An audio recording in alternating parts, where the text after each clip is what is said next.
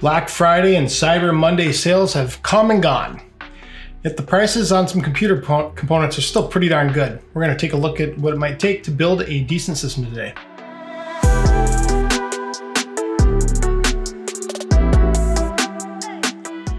The point of today's video, or rather the basis of it, is this. A friend of mine wants me to build him a computer. Now, he wants a machine that is going to be a gaming machine slash browsing slash maybe some work from home type of stuff, but kind of an all around simple, not ultra high end machine, but he wants something that's going to work for a long time and will give him a good experience.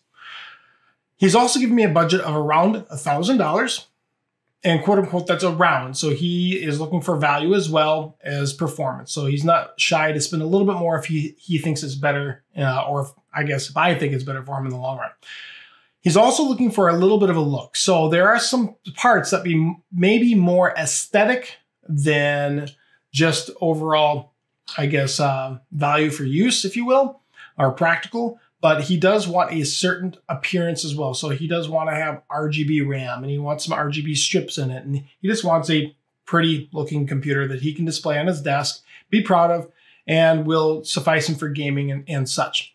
Now, we're going to hopefully price out a system that's going to be an AMD based system as well as one that will be Intel based. Now, I also want you to, in the comments below, um, tell me if you think I'm, I'm doing something that's a little not quite as to what you might think it should be. Example, if you think I'm using uh, a CPU that is maybe too much performance, but you think I can get a better value elsewhere, go ahead and state it. I'm, I'm trying to find the biggest bang for the buck. So always open to comments. It doesn't mean that that's the route that he wants to go, but always open to them. Anyway, let's dig right in and see how today's video goes. So for the purpose of this, I'm going to be using Newegg, Amazon.com, and maybe a um, direct site or two. Uh, partially because one, I'm not just going to take the whole video searching the entire internet for the best quote unquote price, but also I'm going to use the places where I know that you get good service and the value is there. Um, so the first system I want to build is, let's take a look at a potential AMD system. Um, I think we're going to price it around the CPU motherboard first because if I'm budgeting around a $1,000, I want to get that out of the way. Um, so my first thought is let's take a look and see what the, um, oh gosh, see what Ryzen 3700X is costing right now. So it's gonna be around 329. Do I want to use a third of my system on the CPU alone when I need to get motherboard? Probably not. Let's keep that in mind though. Um, and this is to be for gaming mostly, but some um, browsing, how about 3400? 3400G. For 140, let's call it $149. I'm going to write that down. So 149, I think the Ryzen 3400G should be a nice starting point. Now, I did a build here not long ago on a uh, TUF gaming, but I want to see what kind of combos they have here. So and they don't have anything really excited listed. Oh, they do have an ASRock. Um, no, he wants to have a kind of a mid-tower build. He kind of gave me some guidelines as the case he wants to use as well. So let's take a look at what is the Asus TUF um, X57 going for. He does want the Wi-Fi, even though the non-Wi-Fi version is a really good value at $165. Ugh. But he wants the Wi-Fi built in. All right. Let's take a look at that. Oh, what do we got here? 3600 combined. So if we do that, it would be at 350 right now. If I do this, it's 395. I'm thinking I'm to go with the TUF with Wi-Fi. Oh, an open box.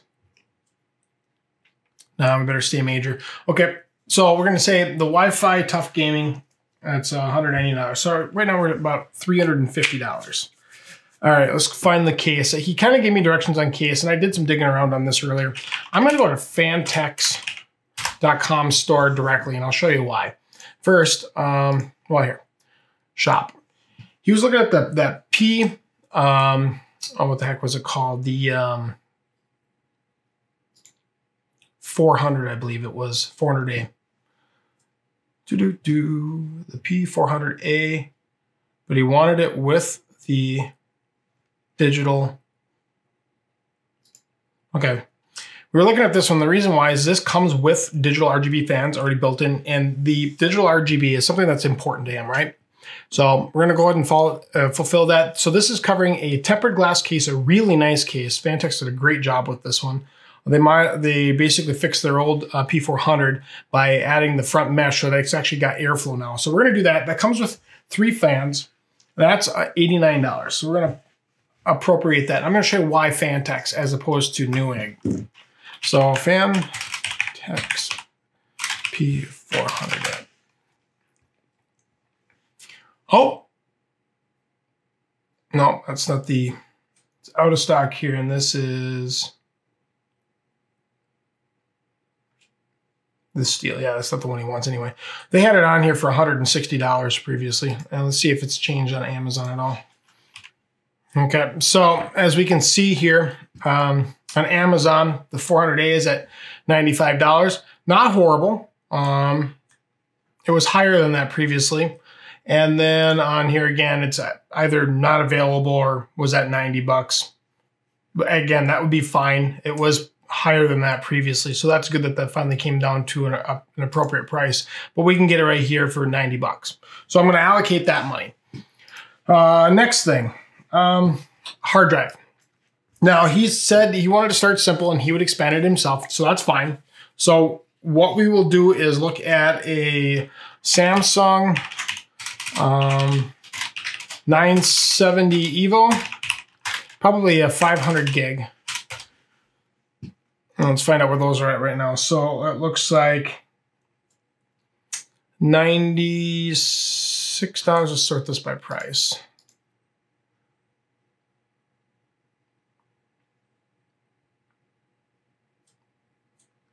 96 here. Let's see what it is on Amazon.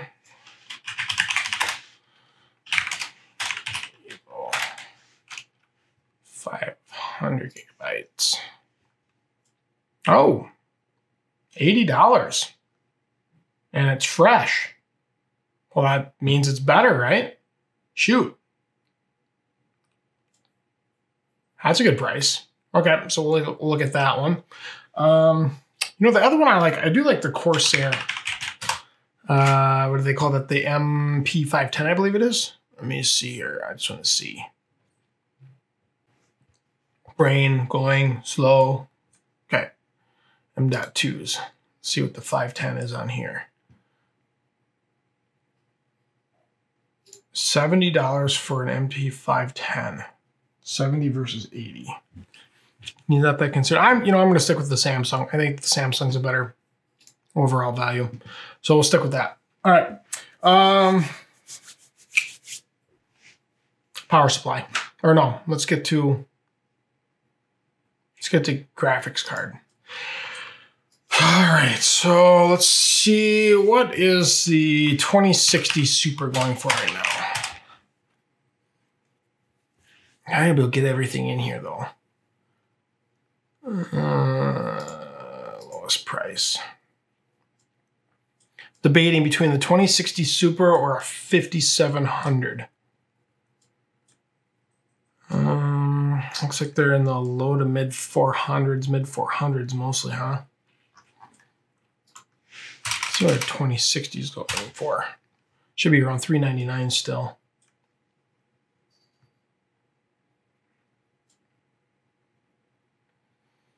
Hmm. Let's see what the AMD 5700 is.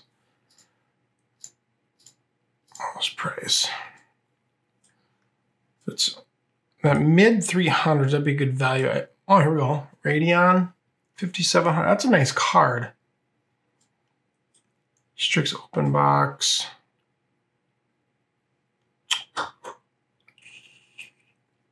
Looks like they're the mid 300s for, I don't want an XT. I mean, I'd like an XT, but let's see some here.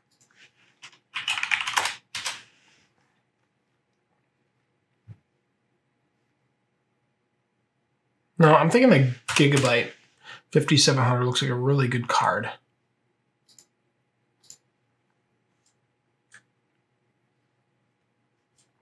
Yeah, let's do that. So that's $360. That's a good price. All right, so let's dig up. Uh, we're gonna need RAM, power supply.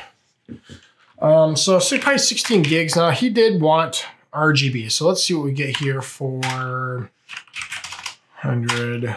Try and let's see what comes up first here.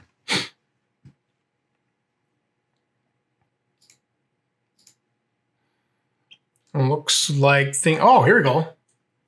3600 kit. And the reason why I'm picking 3600 is that's a really good speed for the Ryzen processor. Uh, 16 gig, that's two modules. There we go. That's a good price, 80 bucks. Otherwise, around 90, 100, yeah, 80 bucks. Yeah, that's a good buy. All right. And now let's see here. Power supply. Let me see. How about a... I really like the EVGA G3. I think in there I'm at a 63. Apparently I can't type. So it looks like 130. That's a little bit more than I want to spend. I mean, even though it's a good power supply, I don't really want to spend that kind of money. Let's see here. How about a um, Seasonic? Probably uh, 750 from them.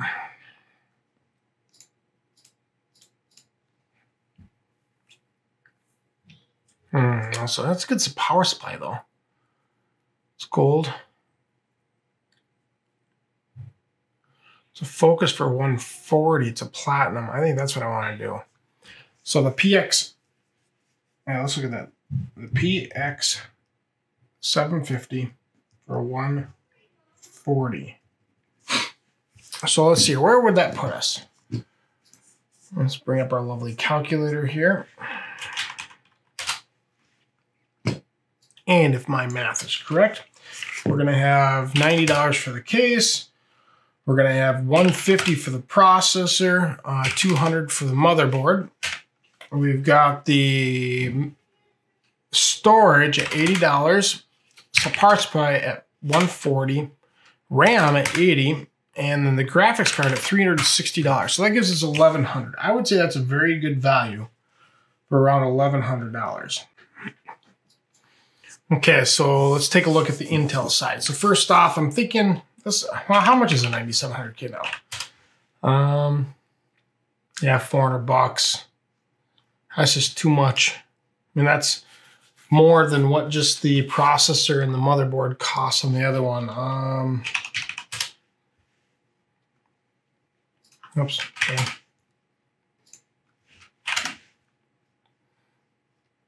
So hard. Uh, 397. Okay. Let's try 9600K. There we go. That's probably a little bit more appropriate. 199. Okay, well, let's see here. Let's see what Z390 motherboards are costing right now. And we'll do a lowest price search. Thing is, you want a decent board. That's not a bad board for $130.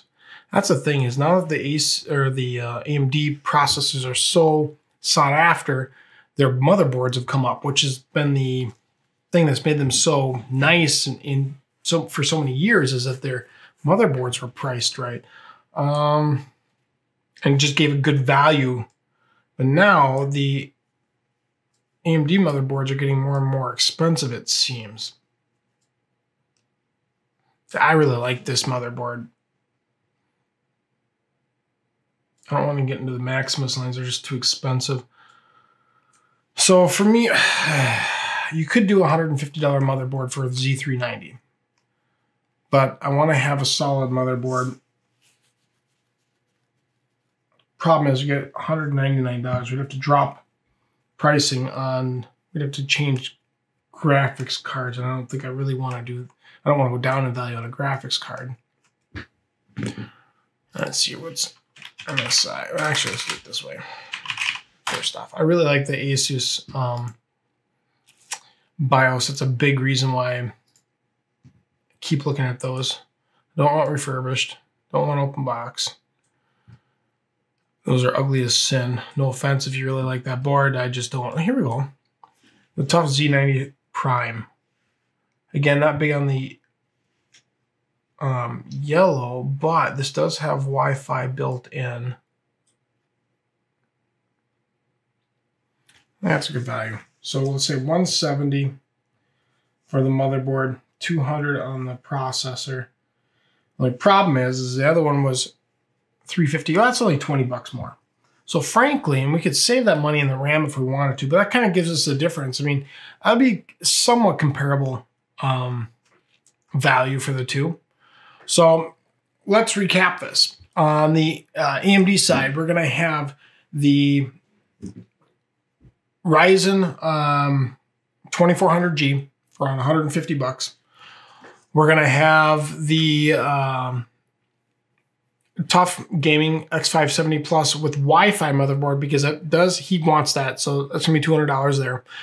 So you're talking about 350 for the combo of the two. Add the case for 90 bucks. And again, we were going with the Phanteks Eclipse P400A. A couple of reasons. One is he wants the fans, he wants the RGB, he wants the look. This is a good case. It includes three really good fans, glass uh, or tempered glass uh, side panel case. We're gonna put in a the Samsung 970 Evo M.2 for 80 bucks, a 500 gig version. We don't need a larger. He said he'll add his own um, hard drive in the future here.